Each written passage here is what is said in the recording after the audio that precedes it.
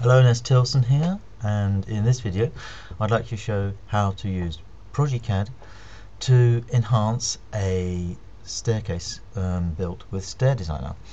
Um, here on the screen we have a staircase uh, built with Stair Designer. In my last video I showed how to add turned posts to this stair.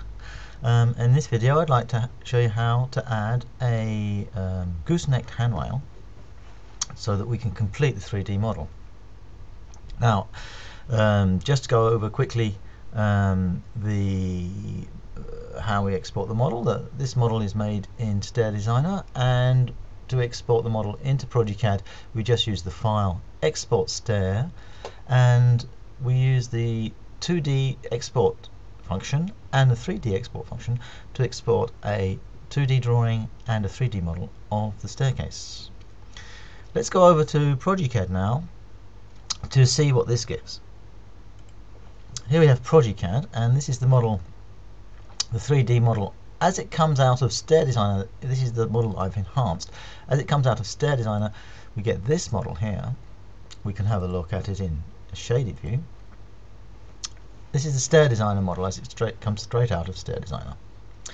Um, in my last video I enhanced this model by adding textures, lights, and uh, turn newel posts.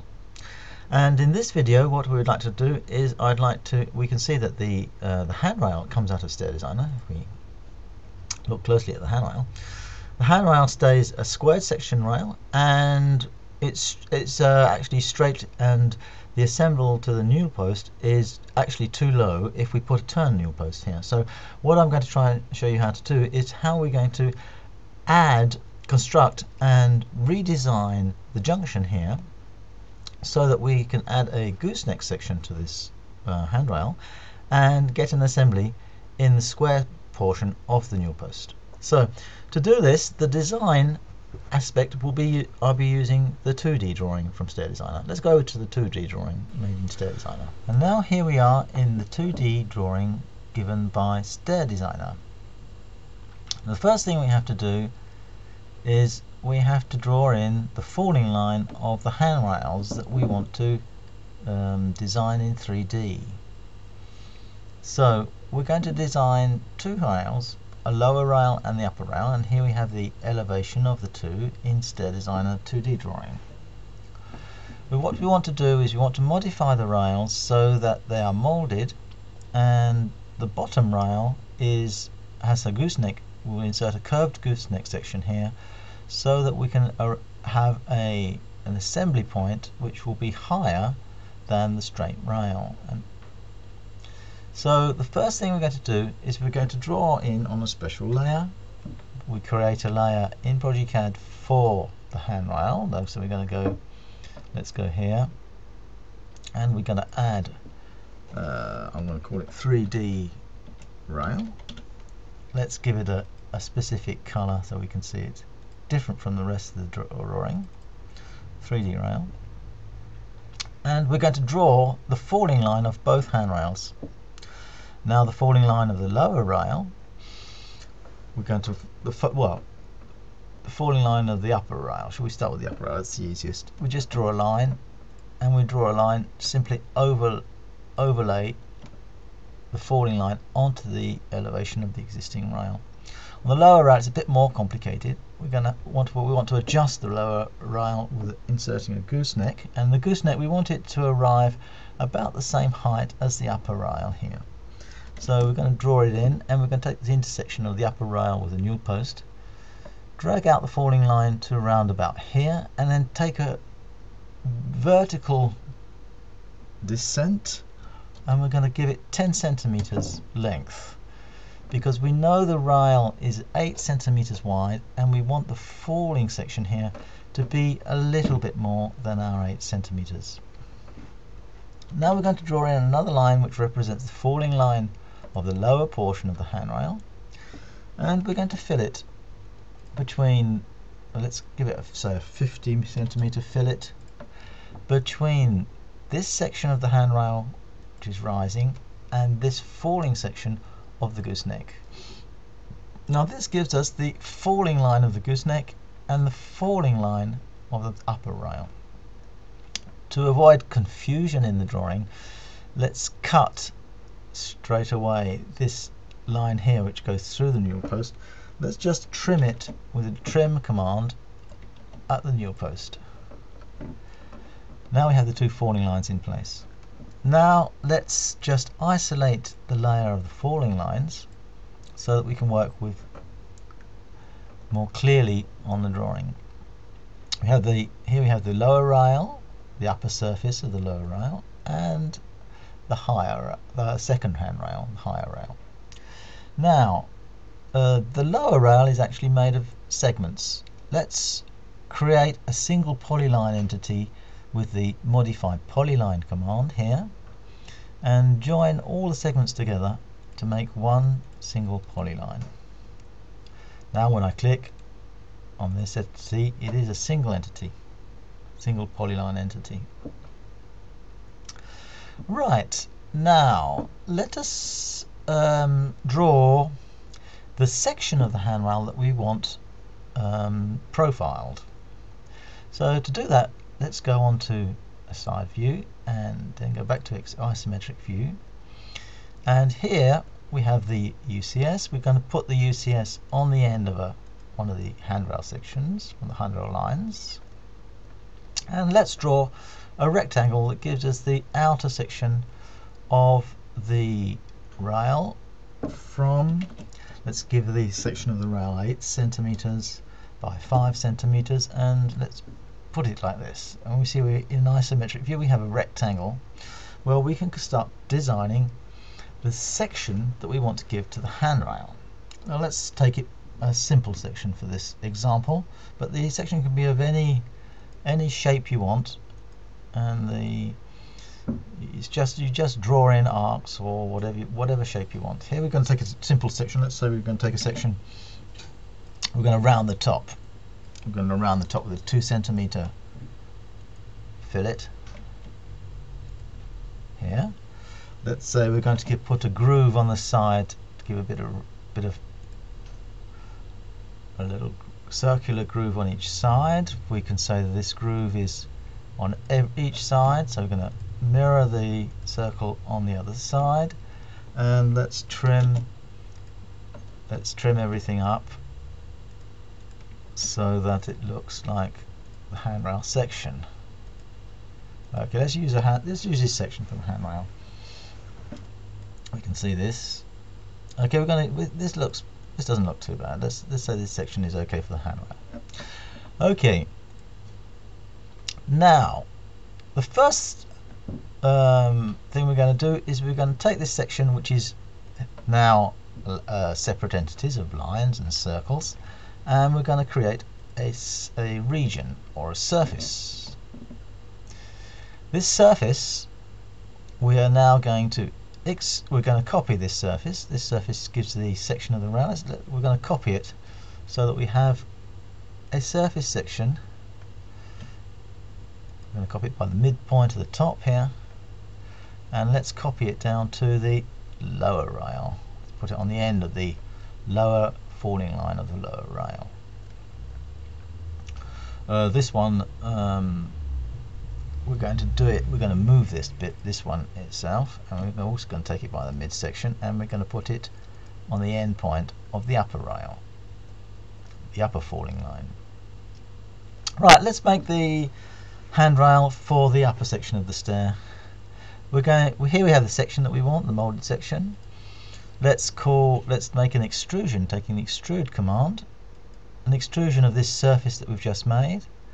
And let's give it say 2 meters 50 length. And here we have a 2 meters 50 wow it's a bit too long. Let's cut it down a bit. I think I made it too long here.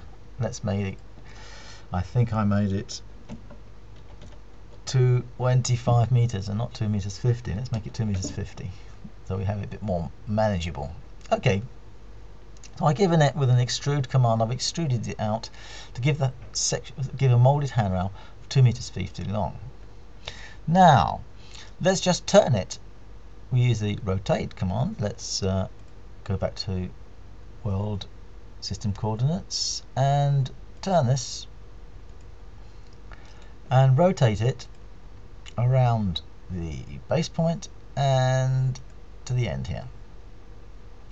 Now this rail, this handrail, if we have a look closer, and we give it a little shade, this rail is now molded and inclined along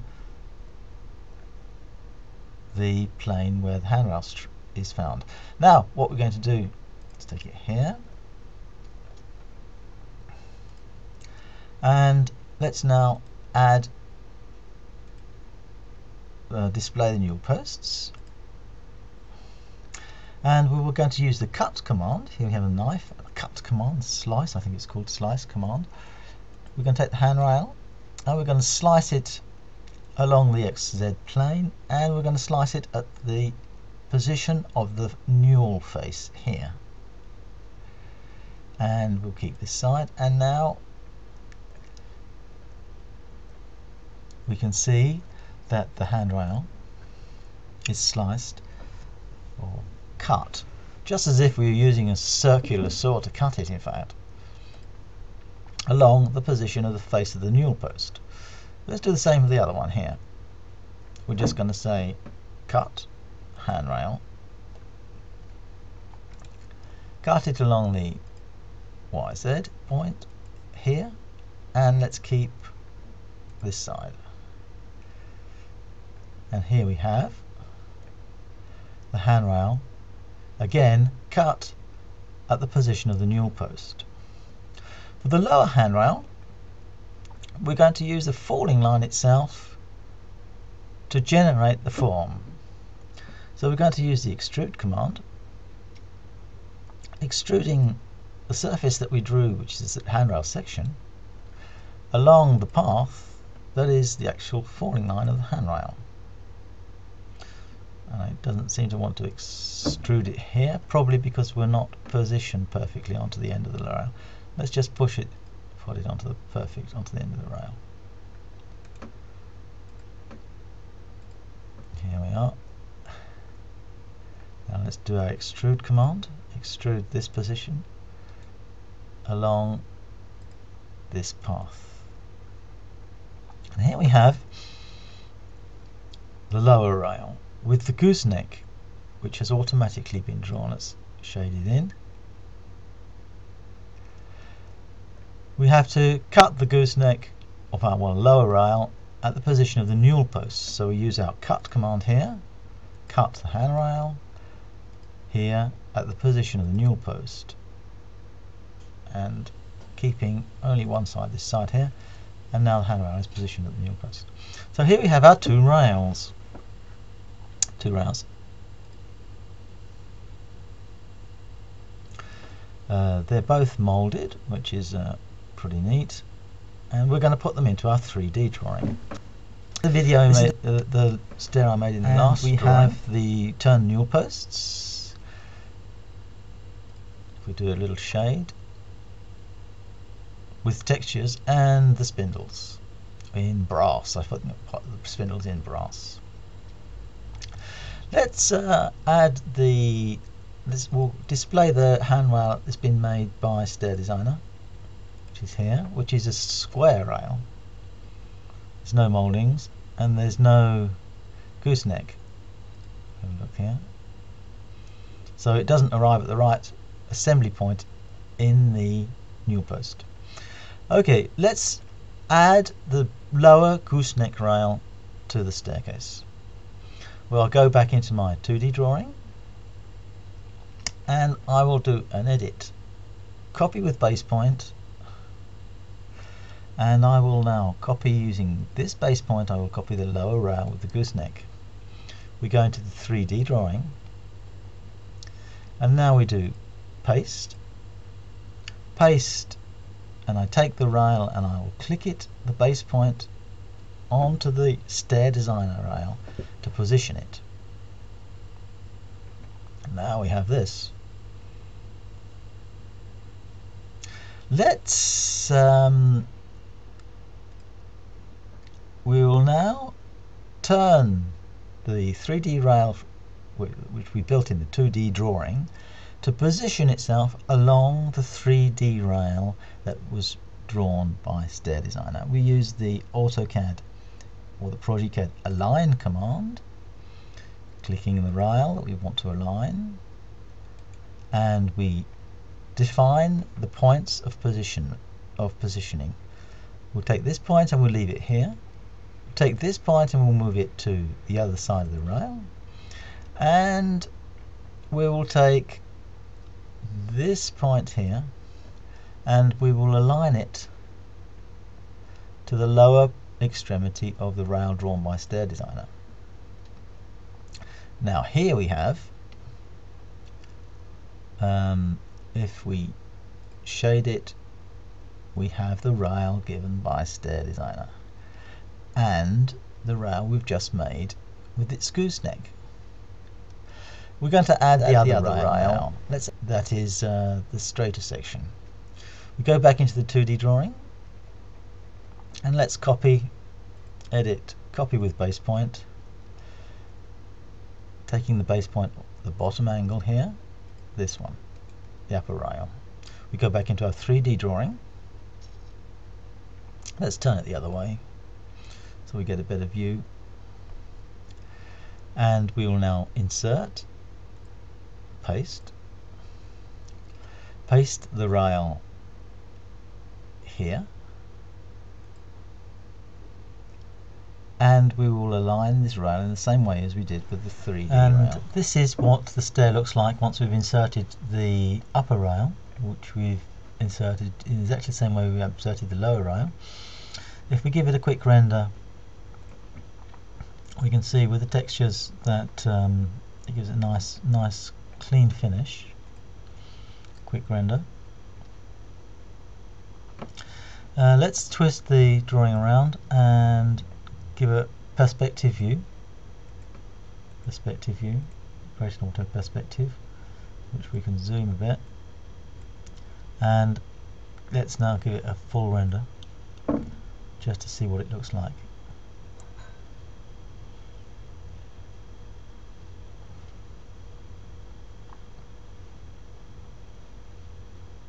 And here we have the the new posts the turn new posts with the handrail and the handrails are molded with a gooseneck with materials and shadows added. Wow, I hope this has been interesting for you and um, I hope that uh, you'll now know how to put in some molded rails onto your stair designer stairs and give some nice presentations with